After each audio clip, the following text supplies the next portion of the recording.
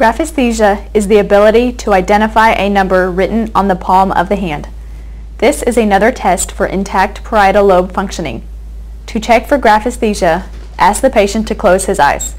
Use a pen, pencil, or similar object and write a number between 0 and 9 on the patient's palm. Then have the patient tell you what you wrote. It is best to orient the number so that if the patient's eyes were open, he could read the number. Tom, if you could turn your palms out and Okay. close your eyes for me, and then tell me what number I am writing on your palm. All right.